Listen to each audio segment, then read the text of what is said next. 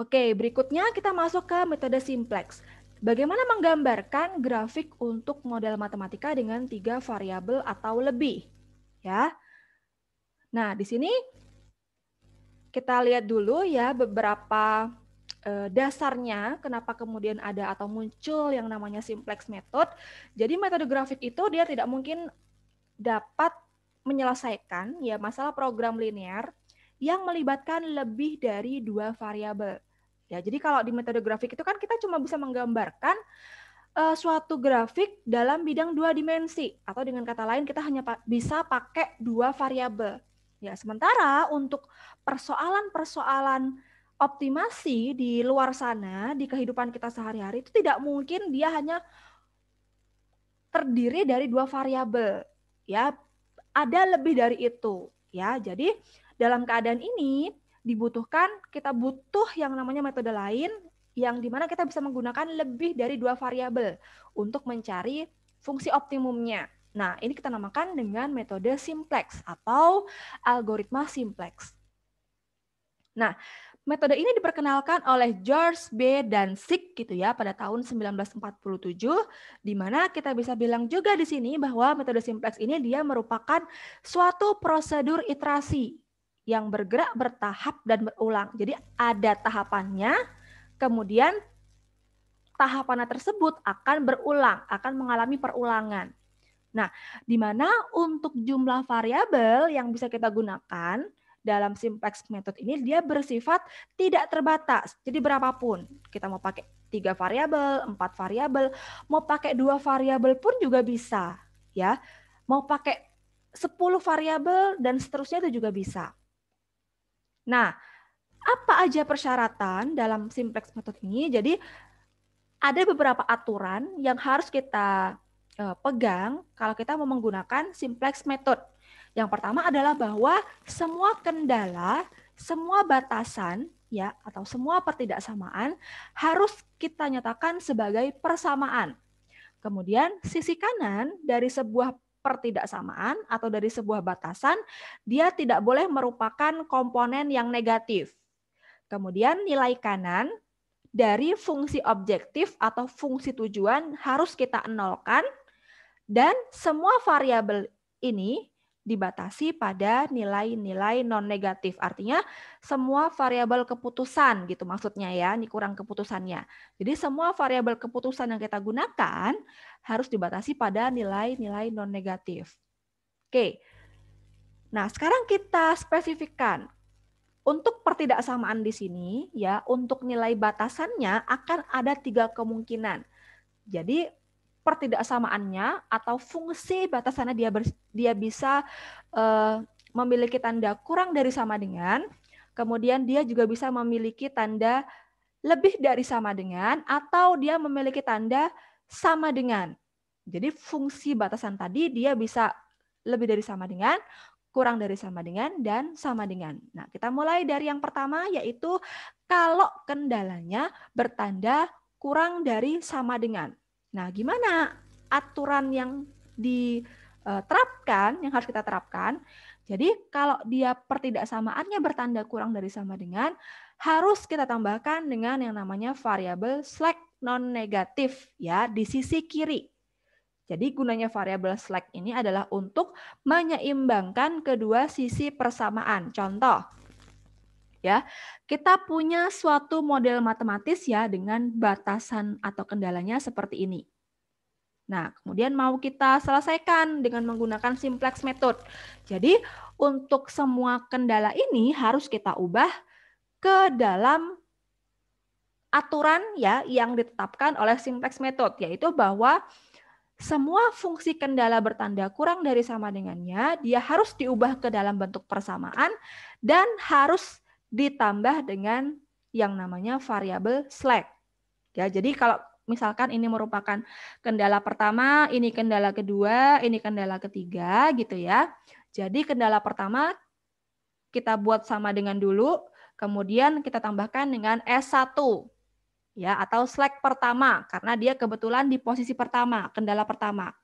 Kemudian untuk kendala kedua, sama ya caranya kita buat jadi sama dengan dulu, kemudian kita tambahkan dengan Slack juga. Tapi karena tadi sudah ada slack pertama, sekarang kita lanjut ke slack kedua. Nah, begitu juga dengan kendala ketiga. Dia masih bertupa kurang dari sama dengan di sini. Jadi kita buat menjadi sama dengan, kemudian kita tambahkan dengan slack, yaitu slack ketiga. Karena udah ada slack pertama dan ada slack dua. Jadi kita sudah bisa mentransformasi dari bentuk ini ya. Kalau mau dikerjakan dengan simplex method, dia harus diubah menjadi bentuk seperti ini. Ya, ada keterangan di sini S1, S2, dan S3 dia adalah variabel slack. Ya, jadi eh, berapa sih variabel slack itu? Ya, kita nggak tahu. Kita tidak berbicara mengenai besaran dari variabel slack. Cuma dia ada. Ya, kita nyatakan keberadaannya dia ada. Nah, di mana keberadaan keberadaannya ini dia berfungsi untuk menyeimbangkan kedua sisi persamaan. Ya, kurang lebih seperti itu maksudnya. Nah, kemudian yang kedua, kalau misalkan kendalanya bertanda lebih dari sama dengan. Nah, gimana caranya?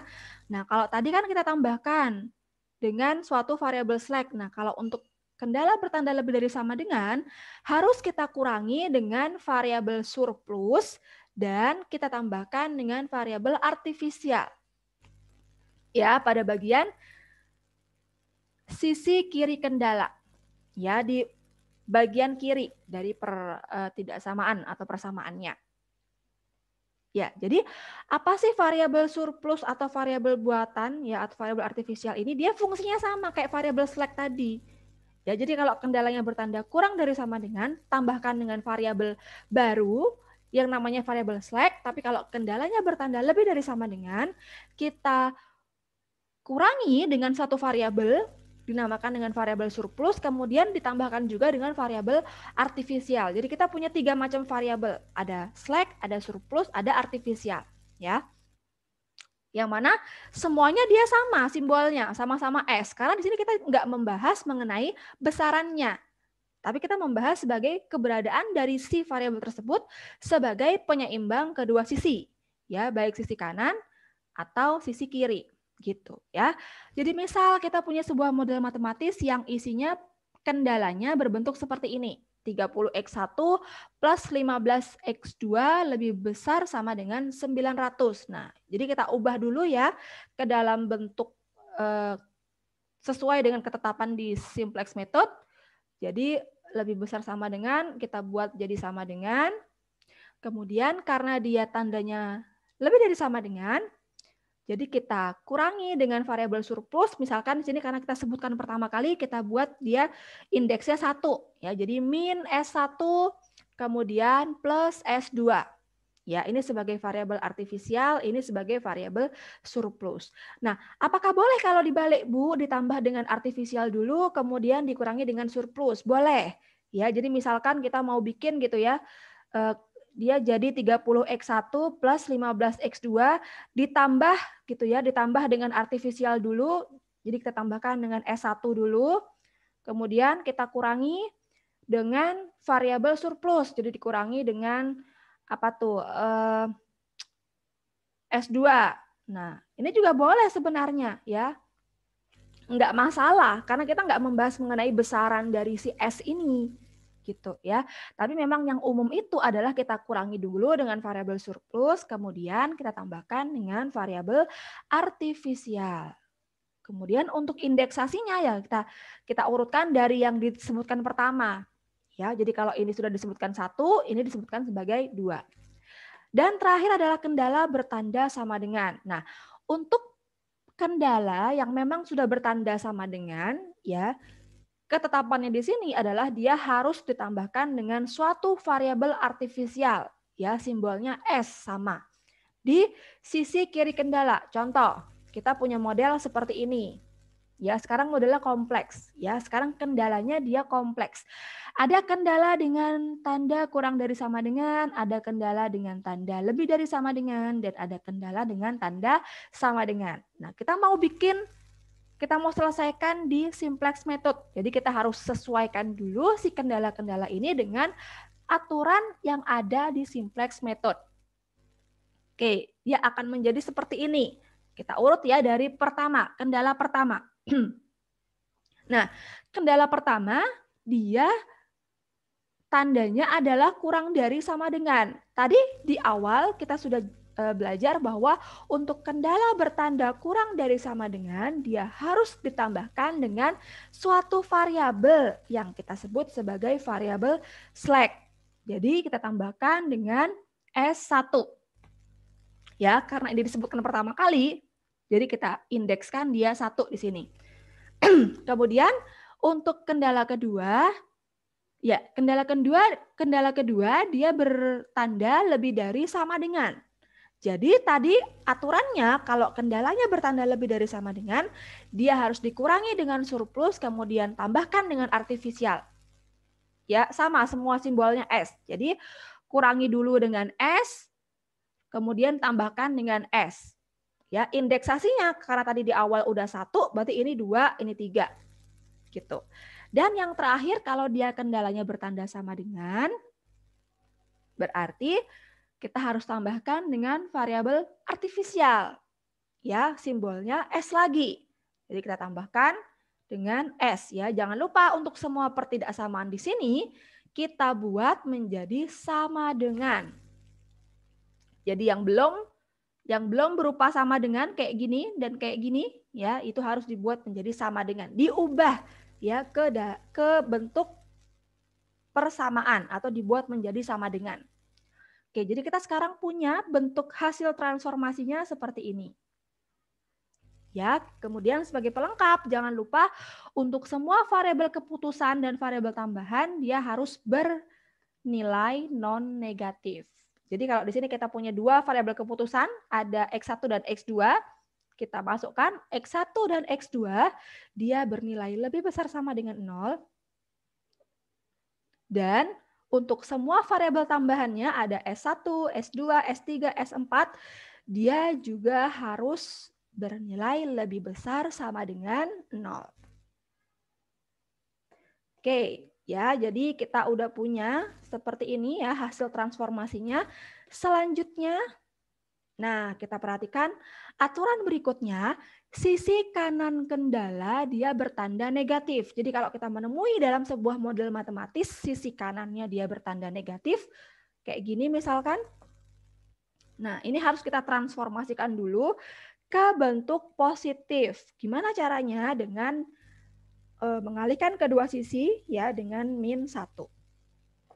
Jadi kita dapatkan hasilnya seperti yang di bawah ini ya yang atas jadi seperti ini, yang ini jadi seperti ini. Jadi tidak boleh kita membuat kita menyelesaikan uh, simplex method itu dengan suatu fungsi kendala yang sebelah kanannya dia negatif.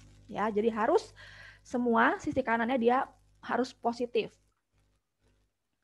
Jadi ini sekarang sisi kanan, ini sisi kiri gitu ya. Sisi kanan di sini dia harus semuanya positif. Kemudian untuk fungsi objektif ya, nilai kanan dari fungsi objektif ini atau fungsi tujuan ini dia harus nol. Jadi kalau di uh, metode grafik tadi kan kita punya fungsi z-nya misalkan z sama dengan 3x plus 5y. Nah, kalau di simplex method nggak boleh seperti ini bentuknya. Jadi fungsi objektifnya itu sisi kanannya dia harus sama dengan nol. Nah, gimana caranya? Semua komponen di sisi kanan ini kita pindah ke sisi kiri. Ya, menjadi Z min 3X1 min 2X2 sama dengan 0. Oke, sekarang kita identifikasi. Semua sudah kita punya ya. Nah, nanti hasilnya komponen-komponennya akan kita masukkan ke yang namanya tabel umum simplex awal. Jadi kita identifikasi masing-masing komponennya, kita masukkan ke tabel umum simplex ini. ya. Jadi kolom yang memuat variabel keputusan X1 sampai Xn kita sebut sebagai main body ya, tabel utama, body utama ya, bagian utama, kemudian variabel e, komponen yang termuat dalam kolom S1 sampai Sn kita sebut sebagai tabel identi, identifikasi gitu ya tabel identitas seperti itu ya. Kemudian di sini ada yang namanya kolom basic. Nah, kolom basic ini dia memu memuat ya Z S1, S2 sampai SM. Jadi Z ini dia baris Z ini dia memuat uh, fungsi objektifnya ya. Jadi sebelah sini dia memuat fungsi objektif ya yang sama dengan nol tadi. Kemudian baris S1 itu dia memuat kendala pertama. Ya, jadi jangan bingung S1 itu dia memuat kendala pertama. Nah, S2 dia memuat kendala kedua dan seterusnya seperti itu, ya. Oke. Nah, kemudian bagaimana algoritma simplex? Nah, berikut merupakan tahapan ya dari simplex method. Yang pertama, kita mengubah fungsi tujuan dan fungsi kendala ke dalam bentuk implisit atau bentuk standar tadi kita sudah bahas ya gimana kalau kendalanya e, berupa pertidaksamaan harus kita standarkan seperti apa kemudian fungsi tujuannya juga juga harus kita nolkan seperti tadi ya. Kemudian kita susun kita masukkan persamaan-persamaan yang sudah dalam bentuk standar itu ke dalam tabel simplex tadi. Kemudian kita tentukan kolom kunci ya, yaitu kolom kunci ini adalah nilai Z dengan nilai negatif terbesar ya untuk fungsi maksimum dan untuk fungsi minimum berarti kita pilih nilai pada fungsi z-nya pada baris z-nya itu dengan nilai sebaliknya ya nilai negatif terkecil. Kemudian kita tentukan baris kuncinya di mana di sini kriterianya adalah nilai positif terkecil dari nilai kanan dibagi dengan nilai pada kolom kunci. Ya, Kemudian ada keterangan juga angka kunci ini adalah nilai pada perpotongan baris kunci dan kolom kunci.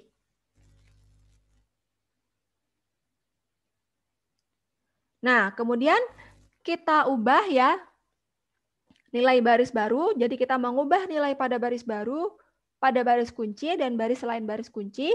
Nah, apa itu nilai baris baru? Yaitu nilai baris lama dikurangi dengan hasil perkalian angka pada kolom kunci dengan baris kunci yang baru. Nah, kemudian tahap keenam kita ulangi lagi ya. Kita ulangi lagi tahapannya ya, kita mengulang perbaikan, ya ulangi langkah di atas sampai tidak terdapat lagi nilai negatif pada baris Z.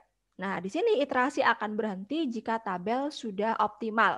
Atau jika semua nilai pada baris Z dia bernilai positif atau nol ya untuk maksimum dan sebaliknya untuk minimum. Kemudian dia bernilai negatif atau nol ya untuk minimum. Nah, ini kebalikannya. Jadi untuk uh, fungsi memaksimumkan nilai Z-nya semuanya sudah bernilai positif. Kemudian untuk meminimumkan nilai Z-nya sudah bernilai negatif atau nol gitu ya. Oke, tadi kita sudah punya uh, suatu uh, model matematis ya dari contoh pertama yang coba kita selesaikan dengan menggunakan metode grafik tadi. Nah, kita akan coba uh, selesaikan ya model matematis ini dengan menggunakan simplex method. Jadi kita punya fungsi tujuan adalah Z sama dengan 3X1 plus 5X2 dengan kendala-kendalanya adalah 2X1 kurang dari sama dengan 8, 3X2 kurang dari sama dengan 15, dan 6X1 plus 5X2 kurang dari sama dengan 30.